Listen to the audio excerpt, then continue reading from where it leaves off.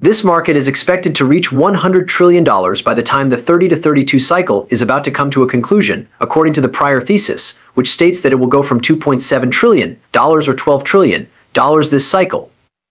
Wow, to say the least. With that being said, I believe that we are currently witnessing the most rapid accumulation of wealth in the entirety of human history. The total value of the cryptocurrency market is anticipated to reach $100 trillion by the end of the year 2032, as stated by Raoul Pal. I am aware that this seems crazy, but when you give it some serious thought, you will realize that it is not nearly as absurd as it initially appears to be. According to statements made by officials of Ripple during this interview, individuals have a tendency to overestimate the short term while underestimating the long term. Pay close attention to this.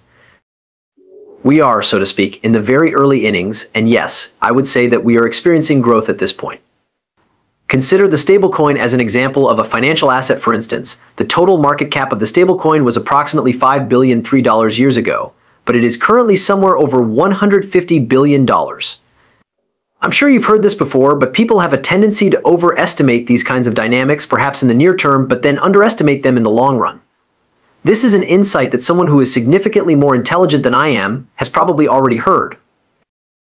See, this is what it boils down to. Since the quantity of money that will be pumped into cryptocurrency will continue to increase as blockchain technologies are included into the new monetary system, and as cryptocurrency becomes increasingly accepted as a class of assets, as well as the fact that it already is. As Monica Long has demonstrated, Ripple is the company that is at the forefront of this movement. Brazil, which is the president of Ripple, is rapidly becoming a vital cryptocurrency hub throughout the world due to its forward-thinking rules, clear policies, trade fire participation, and a growing developer community. But there is more to it than that. Tranglo, a partner of Ripple Payments, is connecting Malaysia and Singapore in real-time transactions using XRP as the settlement mechanism, QR. This information comes from Chad Steingraber. Citibank and HSBC are the two most prominent financial institutions. Other major financial institutions include JP Morgan, DBS, Standard Chartered, Bank of India, and Bank of China.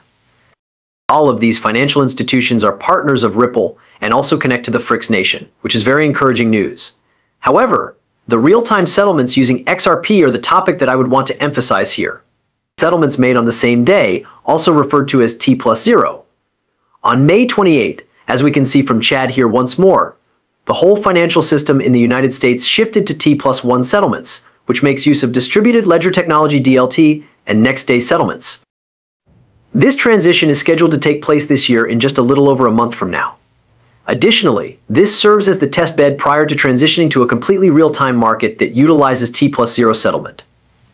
As of right now, there are significant advances taking place all over the world, with countries making the transition to T plus 1, with the expectation of going to T plus 0 very shortly afterward. From the dips of XRP, we can see that many people have already made this transition or will make it very soon afterward.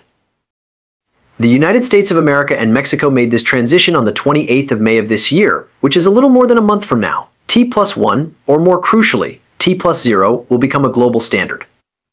This means that if financial institutions, enterprises, and other organizations do not operate in real time and do not engage in same-day settlements, they will cease to exist. In addition, Ripple is the company that is clearing the way for these establishments.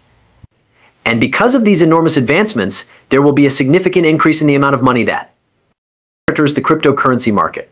This is because a greater number of organizations and industries will be utilizing distributed ledger technology DLT, blockchain technology, and crypto technology in real time, which requires more investments. Also, this will release all of the liquidity that has been stowed away in the major banks, which is the Nostro Vostro, which is the problem that XRP is going to fix as well, which is the $27 trillion crisis that the banks are facing. System for the 35 to 50 years to come.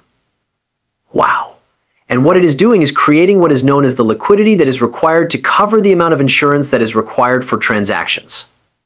And while it took a week, three days a week, and where it takes Bitcoin like six to eight hours, the transaction between banks using XRP is almost instantaneous, taking only two to four seconds. There is nothing that can compare to it. They also have other individuals who are responsible for the creation of liquidity in various venues. There are three of them.